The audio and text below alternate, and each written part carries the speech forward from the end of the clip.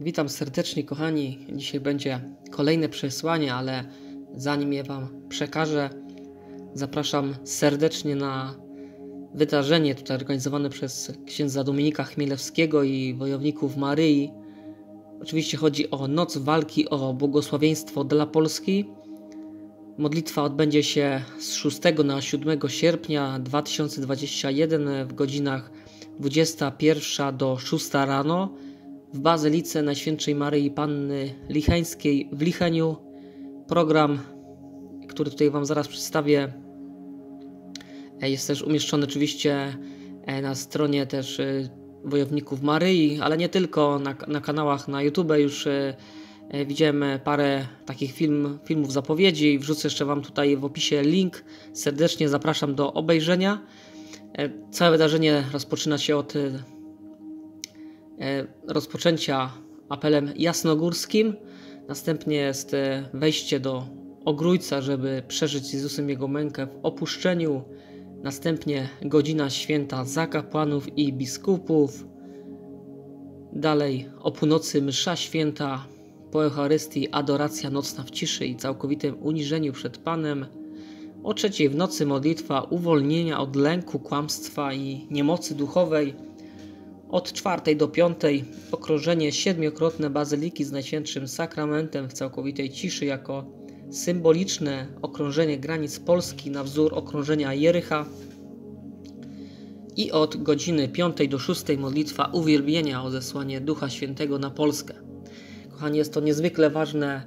Gorąco zapraszam do uczestnictwa. Jeżeli ktoś nie może, to naprawdę przekażcie dalej tą informację. Zapraszam tutaj do udostępniania również e, filmu, jak tutaj e, mówiłem w linku. Jest e, film księdza tutaj Dominika Chmielewskiego. No bardzo no, rzeczowe tutaj przesłanie.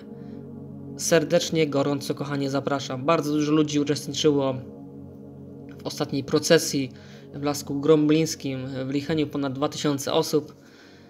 Super, że jesteście, super, że tutaj się to wszystko niesie w świat, bo nawet y, ludzie z zagranicy przyjechali, więc fantastycznie. A teraz, kochani, zapraszam Was na przekaz z Romano z 24 lipca 2021 orędzie Maryi.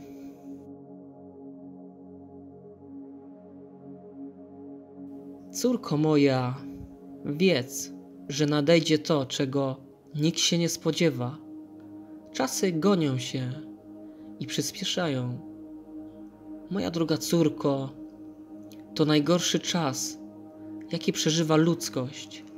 Wiele osób cierpi, ale przede wszystkim ci, którzy nie znają Boga.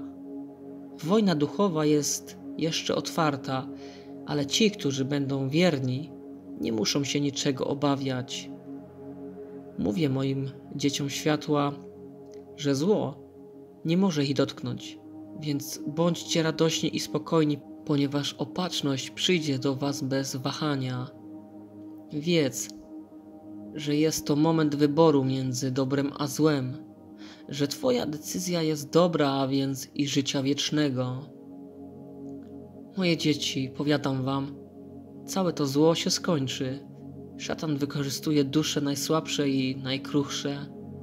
Ale kiedy przybędzie mój syn, wszystko będzie nowe i odnowione.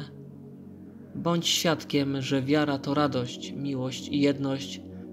Teraz błogosławię Was w imię Ojca i Syna i Ducha Świętego. Ja, Twoja Matka, jestem z Tobą. Tak więc, kochani, dziękuję za wysłuchanie. Oczywiście przypominam, noc walki o błogosławieństwo dla Polski 6 do 7 sierpnia 2021.